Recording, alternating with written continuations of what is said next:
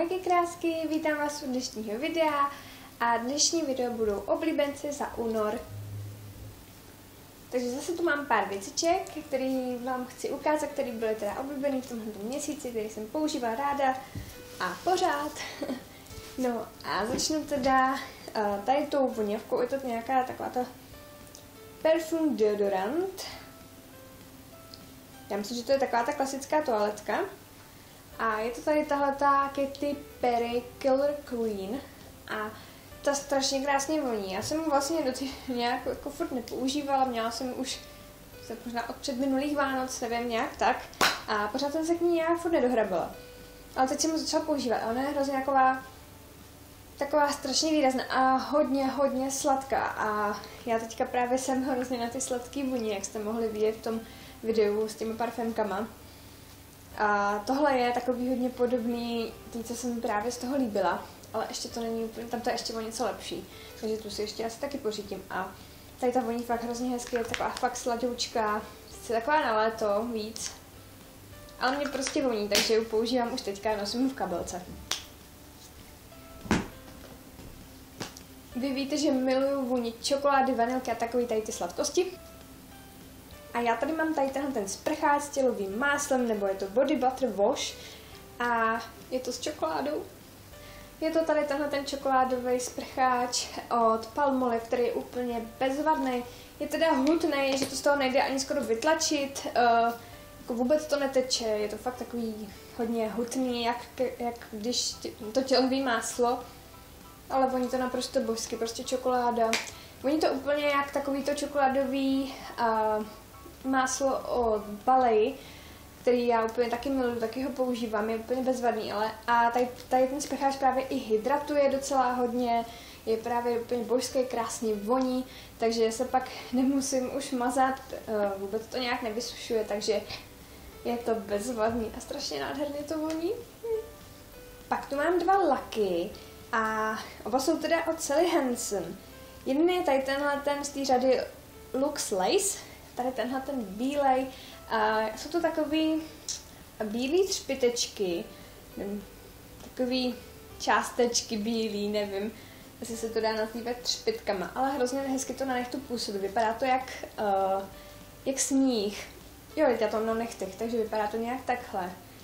A je to strašně hezký. Uh, pak je to hezký na každém laku a nejvíc tady na tom druhém. Jo, tohle je teda odstín 830 eyelet. A nejkrásnější je to tady s tímhletím uh, tělovoučkým odstínem uh, 520 bamboo shoot. Uh, je to taková fakt tělová, merunková, taková do, víc do oranžová než do růžová. A spolu prostě tvoří fakt úplně skvělý kombo. A už jsem to dávala loni, někdy hned po Vánocích jsem dávala článek, na blog, tak si můžete podívat, jak to vypadá společně. Vypadá to fakt úplně božsky, ještě líp než tady na tomhle. Na tomhle to není až tak krásný, ale tady na tom to prostě vynikne, tady tenhle, tenhle to hezky ozvláštní a vypadá to spolu naprosto perfektně. Tak mám tvářenku a já jsem teďka skoro celý měsíc používala tady tu od Elfu. Uh, Elf má úplně nádherný balení tvářenek, mně se to hrozně líbí, takový luxusní a je to takový maličkatý, takový krásný. A tahle tvářenka je taková oranžovo-růžová, taková krásná právě zrovna na jaro. Má v sobě takový zlatý třpitečky.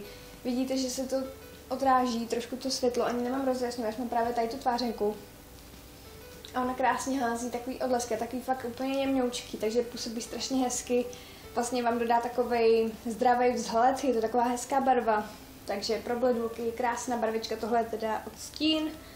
Píči, kín. Ale krásný. I to balení je prostě nádherný. Tak to mám další věc od Elfu, to už je takový větší, ale balení je stejný, krásný. Tohle je od Stín, myslím, že St. Lucia, mám pocit. A tohle je teda um, takový duo tvářenka a bronzer. A já právě používala celý měsíc tenhle ten bronzer, který je naprosto úžasný.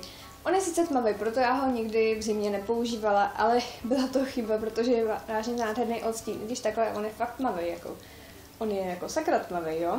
Když se podíváte, je hodně tmavý.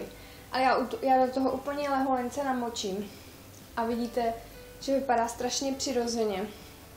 vytvoří takový strašně hezký odstín na pleti, když ho fakt nanesete málo, jo. A pak se dá vlastně používat, používat i v letě, když jste tmavší, tak to použijete trošičku víc, takže je takový právě univerzální.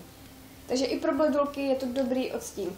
Jo, vůbec se toho nebojte, stačí ale fakt strašně málinko a on se hrozně hezky blendí, nedělá fleky, takže je bezvadný, dá se úplně skvěle rozmazat, takže ten je bezvadný. Pak tu mám pudr a je to od Maybelline Affinimet, tady tenhle ten už jsem vám ho ukazovala, je to ten tester a tohle je teda ten světlejší odstín, který je určitě lepší než tam ten, hezky tak jako rozjasní a udělá strašně hezkou pleť. Mám ho teďka skoro přes celý obličej, kromě tváří. A fakt hezky zafixuje make-up, udělá takový krásný fish, takový jemný, eh, dokonal pleť tak jako vytvoří. A je hrozně hezky jemně namletej, úplně jemnou, jemňoulinký právě. A ne, nevoní.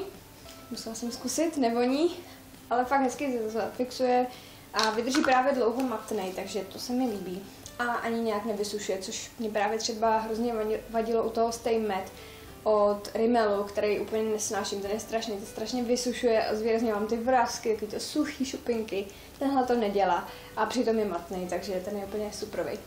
Pak tu mám linky a tyhle jsou od L'Orealu, jsou to tady tenhle ten Super Liner Black Buster, uh, jsou to takový ty tlustší linky, uh, vidíte v peru, a už jsem se s nimi konečně naučila kreslit hezkou linku, jak vidíte, ani není moc tlustá, už jsem se konečně naučila s nimi kreslit i tenčí linku, než nějakou takovou obrovitánskou čáru přes celý oko.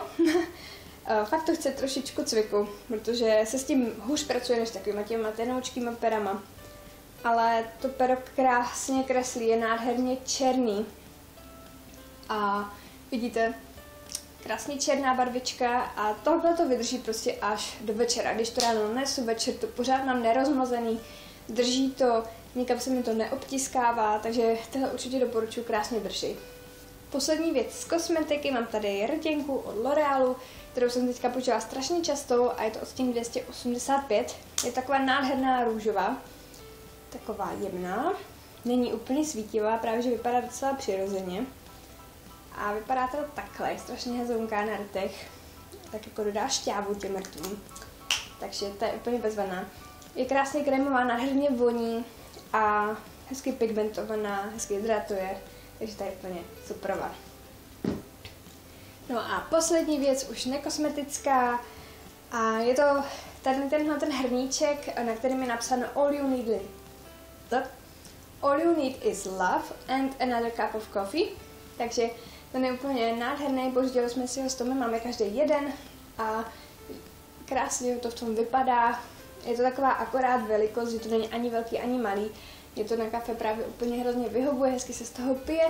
Je to takový utulný, mně se strašně líbí takovýhle teďka černobílý hrněčky. Máme teďka strašně i oblíbený s Tomem, co jsme dostali od jeho mámy, s písmenkama T a L, takže máme každý svůj a z toho se taky krásně pije. Takže když máte hezký hrníček, tak to kafe prostě hned chutná líp, takže tenhle je úplně bezvadný a je teda z pepka. No a tohoto už je teda celý video, já doufám, že se vám líbilo, že třeba něco vyzkoušíte, určitě doporučuji ten palmolive, ten sprcháč, ten úplně bezvadný. A ty laky od Salihan jsou taky krásný, no všechno vyzkoušejte. no a já se vám těším zase u dalšího videa, mějte se krásně a zase příště. Ahoj! All you need is love, love. All you need is love. Máme novou skřínku. Krásná. Takže další pozadí může být, může být, nevím. Napište, napište. Mně se tady docela taky líbí, je to tady takový fajn. Aspoň to můžu měnit tady, nebo tady u té fialové.